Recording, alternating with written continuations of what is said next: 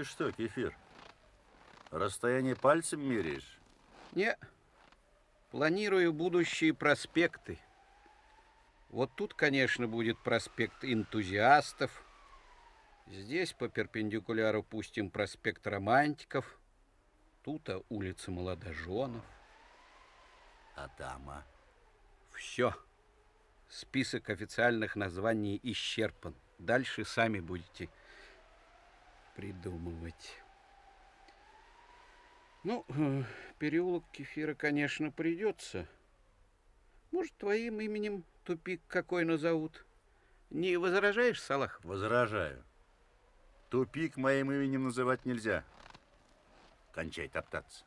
Чинков от тебя дело ждет.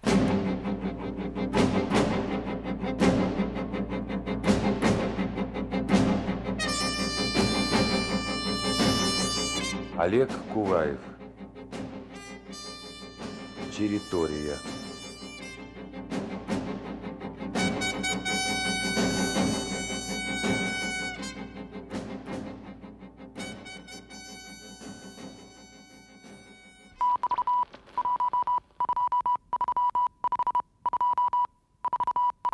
Странная взаимосвязь. Я вижу во сне ильгайскую россыпь золота и другие, которые обязаны пойти за ней. Но обнаружить их должен рабочий, имени которого я не знаю и, может быть, никогда не узнаю. Те, кто бьет сейчас шурфы, одна из точек опоры. Второй точки опоры нет. Монголов занят разведкой, ему там хлопот хватает. Нет второй точки опоры. Нужна догадка. Она где-то рядом. Кто ее найдет, эту догадку?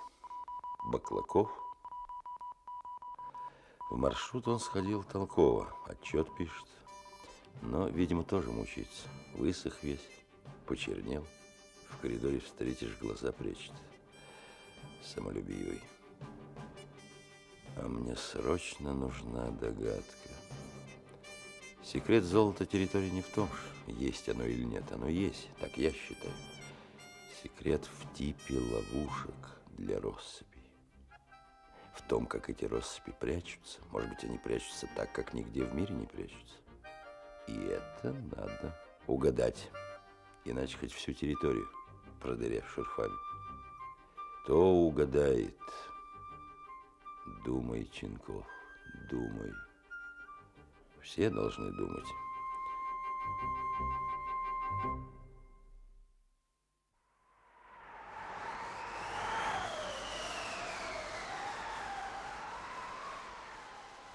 Детонаторы спускать! Кефир! Спешишь, начальник! Это тебе не в цирке! Я еще бурку не выдолбил. Сейчас, Володька, сейчас. Холодно тут! У тебя в шурфе лучше. Ну так спускайся, а я померзну в палатке. Черт! Эй! Держи! Ну, кефир! Самородок! С яйцо! Там еще нет? А его тут и нет. В смысле не должно быть. Давай, поднимай меня.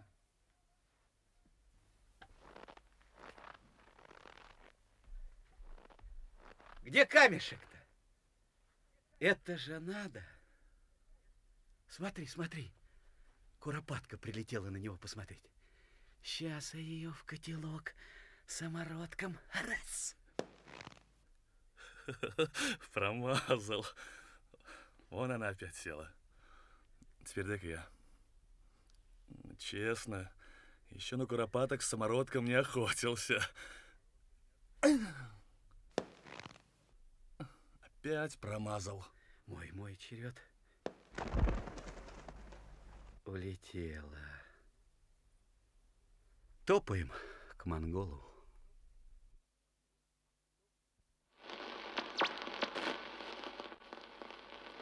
Как связь с Монголовым? Нормально, Илья Николаевич. Все пусто, пробито две линии шурфов. Передайте. Закончено изготовление бойлера для зимней промывки шлихов. Отправляем с ближайшим тракторным рейсом. Сразу же приказываю начать зимнюю промывку шлихов. Все понятно. Передаю.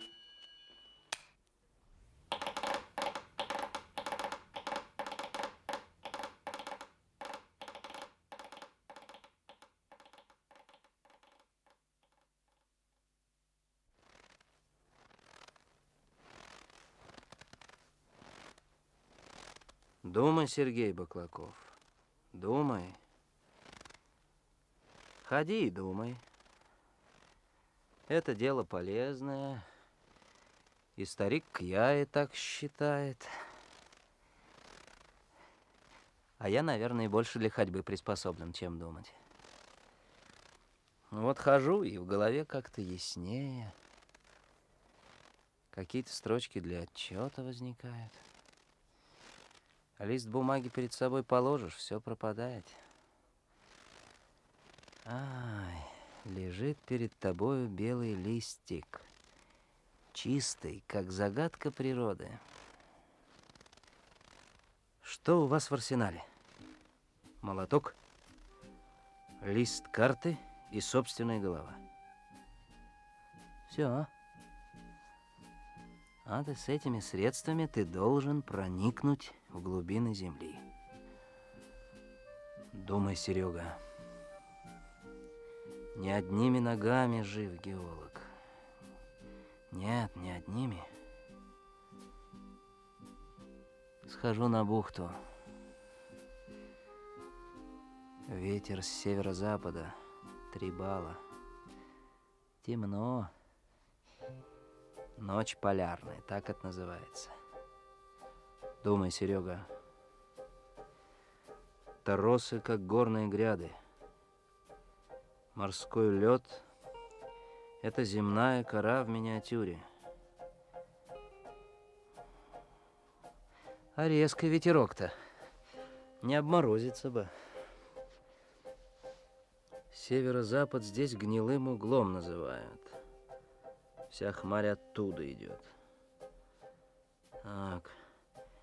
Трещины на льду, как трещины в земной коре. Трещины — это слабая зона. Реки по ним долины прокладывают. На хребтах по ним идут перевалы. Вон две трещины пересеклись. Туда не ходи. Там лед слабый. Стоп. Лед слабый. Это лед. А если две трещины по земле? Допустим, по одной речка течет, по другой образовался ручей, приток. Две слабые зоны пересеклись, вода там яму вырыет. Золото — тяжелый металл, оно в яму ложится. Стоп, Серега. Ченков что говорил? Ищите способ, как ляжет россыпь. Ты гений, что ли, Серега? А ну-ка, быстро обратно.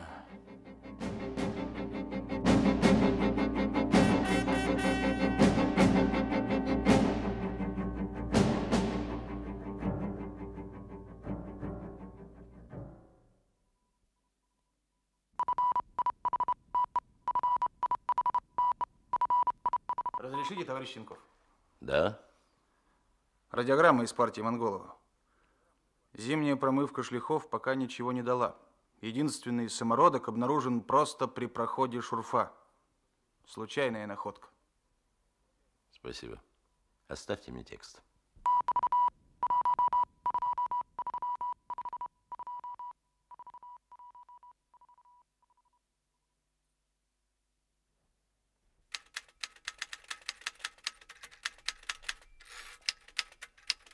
Макаровна.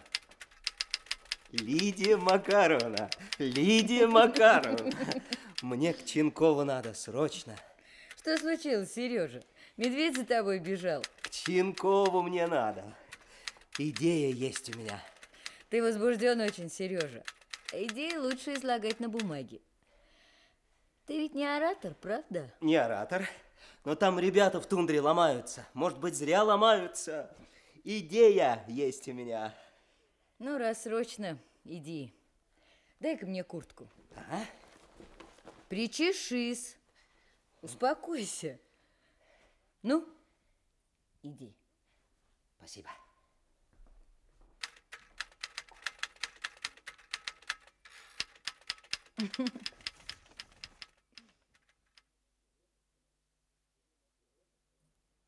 Вы курите, Сергей Александрович? Летом, товарищ Ченков, курю махорку в маршрутах. Я занимался лыжным спортом, нельзя было курить. Не курите, яд, гадость. Да я мало курю, только летом. Я, знаете, Баклаков ужасно много курил. У меня в кабинете стояла роза. Ну, простая роза в горшочке. И иногда в этот горшочек попадали окурки. И представляете, роза засохла. В тот же день я бросил курить. Курить вредно. Я предлагаю вам, Баклаков, продумать маршрут и организацию разведывательной партии. Условно назовем ее кольцевой. Маршрут этой партии должен пройти по пределам земель управления. Задача партии – собрать данные по кольцу, внутри которого будут работать другие партии. Цель ее – увязать в единую систему все съемочные разрозненные планшеты.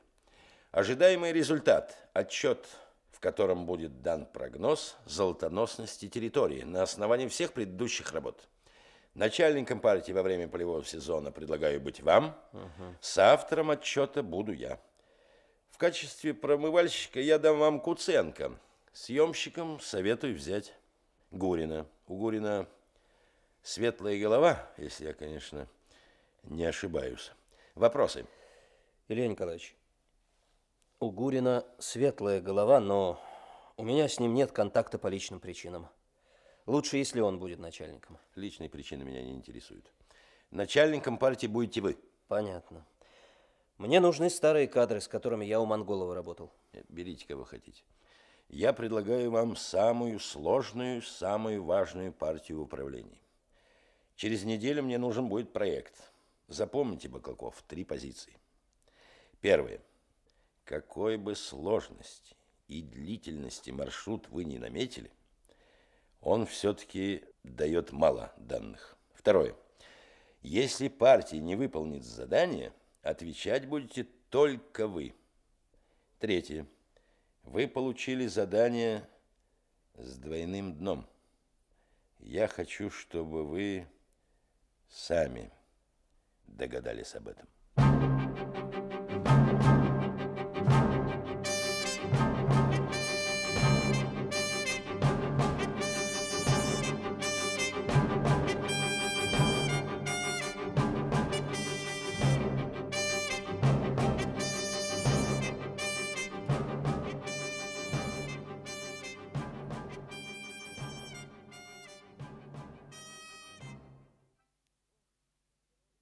Во, Владимир Михайлович, еще дрогнет небо от копоти. Откуда? Вторая линия, десятый шурф, глубина 6 метров. Так. Ченков настаивает на зимней промывке шлихов. Пожалуй, он прав. Еще дрогнет небо от копоти. Это кефир сказал. Пожалуй, может и дрогнуть. Ты шлихи можешь мыть, Гиголов? Я же старателем пять лет трудился. Ну тогда приступай к зимней промывке. Мать моя родная, нигде без кефира обойтись не могут. Предвижу, скоро даже товарищ Ченков начнет слать ко мне своих курьеров.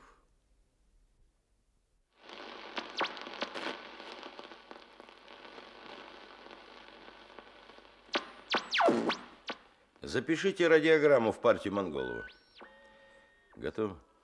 Все шурфовочные работы перенести севернее, в устье ручьев Светлый и в устье реки Малый Ильгай.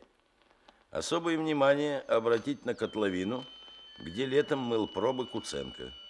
Подпись Щенков. Все.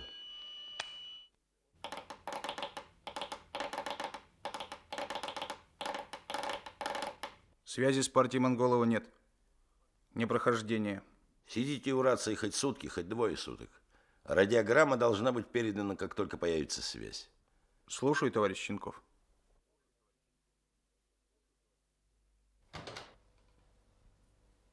Лидия Макаровна, Слушаю вас, Илья Николаевич. весной вы собираетесь в отпуск. Да, списалась с подругой. Решили ехать в Букуриане, две старые тощие дуры. Город там, водичка шумит, белки по соснам скачут. Это хорошо. Вы будете мне нужны в это лето. Я попросил бы вас задержаться. Вот с этого бы и начинали. Но если вы очень устали, М, Стареете вы, Илья Николаевич. старею. Характер мягчает. Пять лет назад вы нажали бы кнопочку и между делом сказали. В это лето никаких отпусков. Можете идти. Возможно. Старость подразумевает мягкость характера. Илья Николаевич, не пригласить ли к вам Баклакова? Зачем? Отчет его уже две недели у вас. Он как встретит меня, в потолок смотрит, чтобы независимость показать. Ну, пожалуй, пора. Пригласите. Должен предупредить, Илья Николаевич, кольцо по пределам управления с силой одной партии пройти невозможно. Я наметил маршрут и привлек в помощь Капкова и Жора Опрятина, так сказать, коллективный проект. Я дал вам задание, Баклаков. Как вы будете его выполнять, меня не касается. Можете выписывать инженеров хоть из Австралии, в пределах отпущенных средств. Я понял. Еще раз повторяю, что за результаты партии отвечаете только вы, Баклаков. Ну, это моя забота, я понял. Прошу запомнить, что наши идеи и наша интуиция имеют ценность только лишь в том случае, если они согласуются с реальностью. Мы живем под принудительной силой реальности, Баклаков. Ваша личная задача иметь раскаленный мозг, вырабатывать идеи и тут же согласовывать их с принудительной силой реальности. В просторечии это называется мудростью. Ну, выше головы не прыгнешь. Но я призываю вас быть безжалостным и мудрым во всем, что касается золота территории. Нам нужны перспективы, чтобы требовать деньги, и деньги, чтобы развивать перспективы.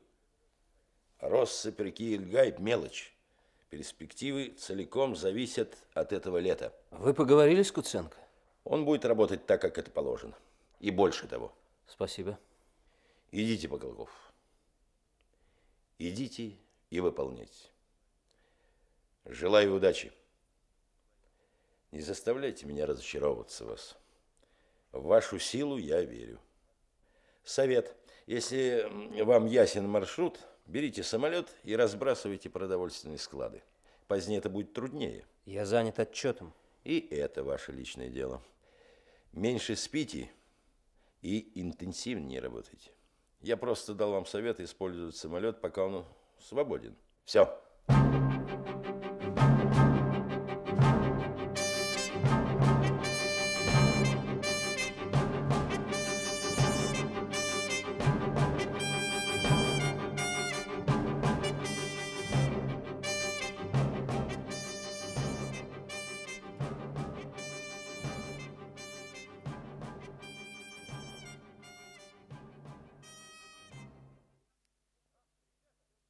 А, ребята, заходите.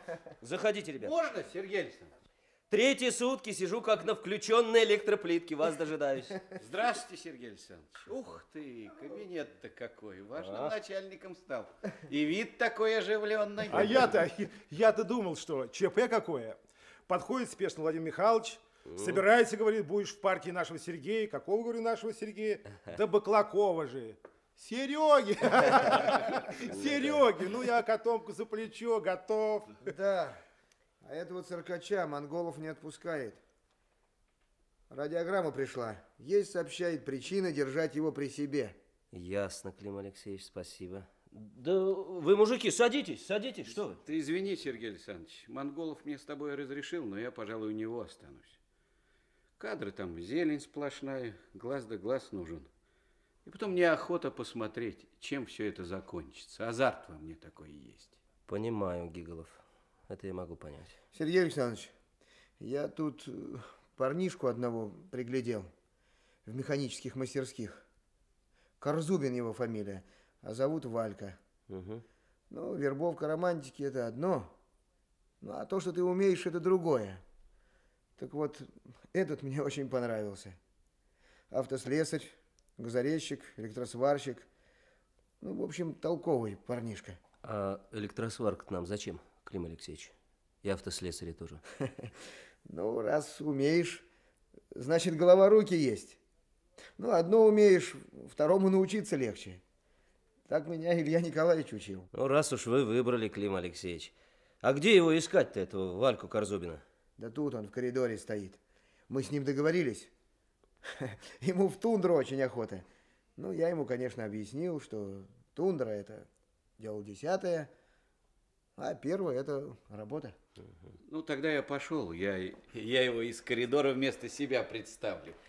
Счастливо поработай. Ну, будь здоров, Кефир. Привет Владимиру Михайловичу. Ну, так вот, мужики. Маршрут наш вот, на карте. Маршрут, как видите, героический. Надо разбросать по нему продовольственные базы и закинуть резиновые лодки в Верховье. Эпиталама, начальники. Тихо, тихо, тихо. Это Корзубин. Э, Тихо, садись и вникай. Все, все. Ну, базы мы с самолета разбросаем. Вопрос, как их сохранить. Дожди, медведи, росомахи, да мало ли что. А вот если, допустим, железную бочку вскрыть, а потом проволокой зашить, Да. На попа поставить, а сбоку керосином полить, зверь не тронет. И дождик не вымочит. Ну, бочка не консервная банка, вскрыть, зашить. Начальники, а зубило есть такое на ручке, как молоток. На конце клювик. Вставил, лупи кувалдой. Так бочка как банк вскрывается. Аббревиатура. Ну вот, а говорили слесаря, не надо. Ясно, Корзубин. Ну так, все трое на склады. Пакуйте семь бочек, а я к Ченкову. Валь, А? а ты чего это так чудно говоришь-то? Эпиталама, аббревиатура. А люблю красивые слова.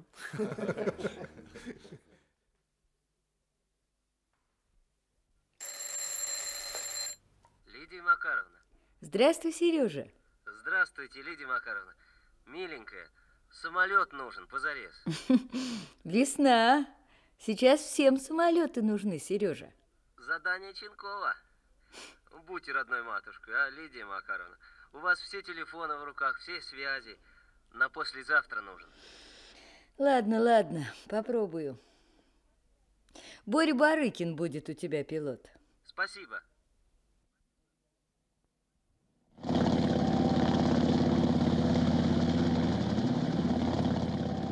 Вот.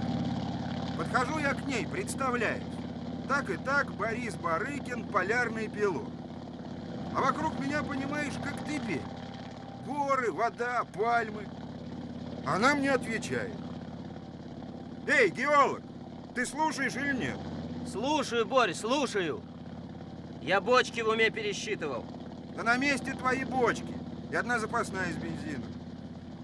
Слушай, по твоему маршруту самолетом лететь день. Как пешком ты будешь идти?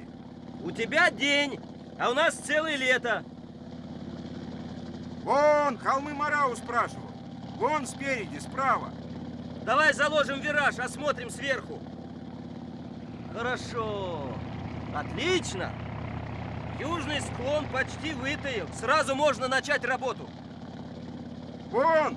Вон, видишь? Это холмы Нганау. Видишь обрыв подмыт? Глубина там на реке. У, -у, -у гольцы с метр длиной. Тут базу поставим. Теперь давай в Китунг. Слушай, видимости нет на твоим китунгом. В долине трех наледи надо сесть. Там первую бочку выбросим. Ты теперь мне не мешай. Погибнешь тут с вашими маршрутами не за грош.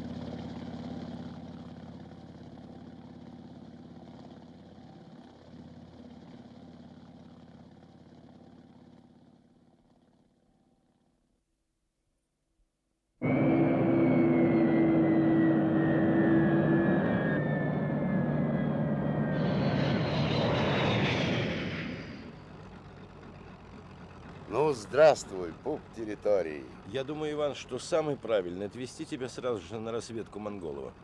И мне очень нужен туда. Поехали. А может, все-таки сначала поздороваешься? Все-таки я начальство из Москвы. А, здравствуйте, товарищ Сидорчук. Прошу вас, садитесь в вездеход.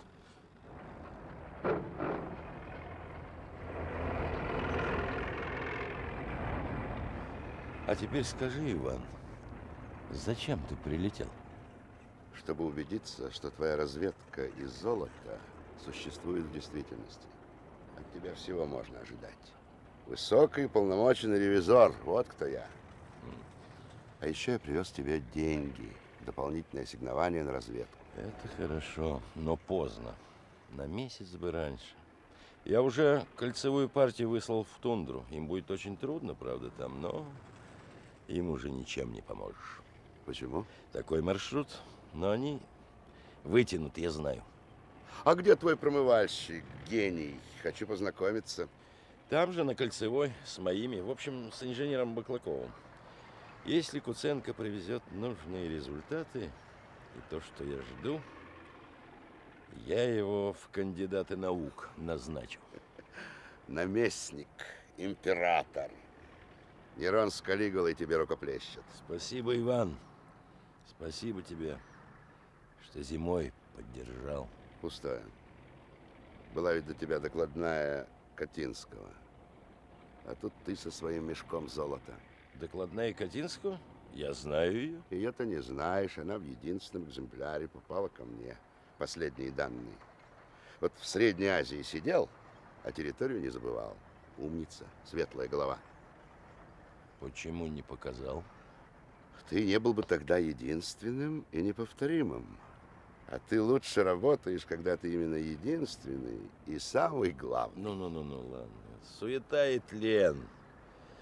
Почести, приоритеты. Главное дело. А дело выполнил я. Знаешь, Иван, Калдин оставил мне неплохих инженеров. Слышь, идея есть у меня. Нефть. Вот что больше, чем золото двигает государствами. А, Иван, как ты считаешь? Есть идея по нефти. Я Ченков. Умру, останутся мои кадры. Баклаков, ну, там есть еще на примете. Колесо крутится, а, Иван?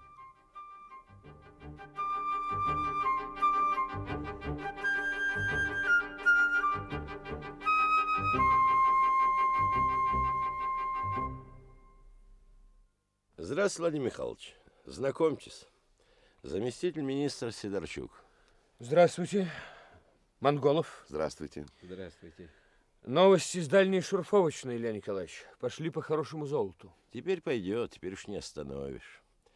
А это, Иван, Гиголов, лучший шурфовщик и специалист по шлихам. Именно он, Гиголов, нашел самородок в 350 граммов. И он же намыл первую хорошую пробу. Здравствуйте, с приездом. Здравствуйте. Шуба у вас богатая, вот что хотел сказать. В такой шубе по Бродвею. Понятно, понятно. Спасибо вам, товарищ Гиголов, за работу. Пожалуйста. И еще что интересно, что хочу сказать. Деньги – дым. Точно дым? А как же? Вот сейчас ребята, дружки мои по тундре корячатся, стонут от холода, комаров или физических травм. Им еще Разве предстояло, деньгами проклиная судьбу, разыскивать во время июльского снегопада Рублем третью продуктовую бочку. Не. Вальке Корзубину еще предстояло стонать по ночам от ломоты в непривычных к мокрой работе руках. Им еще предстояло выбраться в верховье Ватапа и месяц плыть по реке, пересекать в маршрутах тундровые урочища. Им предстоял выход в пустынное устье Ватапа и переходы по штормовому осеннему морю. Им предстояло запомнить багровые на полнеба закаты и колебания одинокой метлицы на галечных косах. Предстояло неделю сидеть у туманного мыса, ежедневно пытаясь его обогнуть. Каждый раз шквальный ветер отшвыривал их обратно, и они молча выбирались на берег, жгли костер из плавника, сушились и снова сталкивали вельбот на воду. и снова ветер заливал их и отбрасывал обратно на скалы.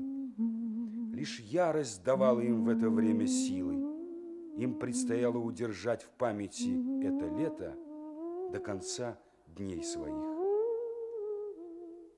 С тех пор прошли годы. Предвидение Ченкова сбылось. Они открыли узел золотоносных россыпей территорий с очень сложными условиями залегания и с богатым содержанием. Для этого понадобилось упорство, безжалостный, рисковый расчет Ченкова и сумрачный нюх Куценко, и юношеская настойчивость Баклакова, и мудрость старика Кьяе. Для этого понадобились мозоли и пот Гиголова, Циркача, Вальки Корзубина. Если бы была сила, которая вернула бы всех связанных с золотом территорий, погибших в маршрутах, затерявшихся на материке, все они повторили бы эти годы. Не во имя денег, даже не во имя долга и не ради славы, а ради того непознанного, во имя чего начинается и проходит индивидуальная жизнь человека.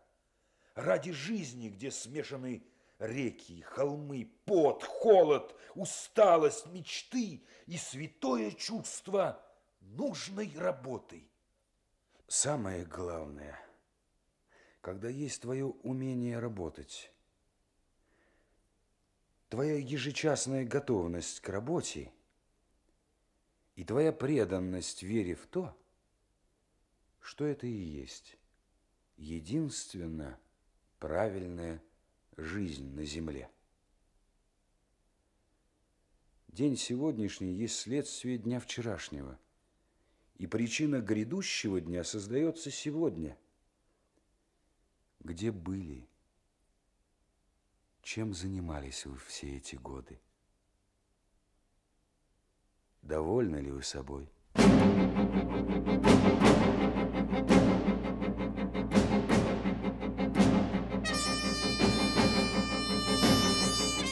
Олег Куваев. Территория.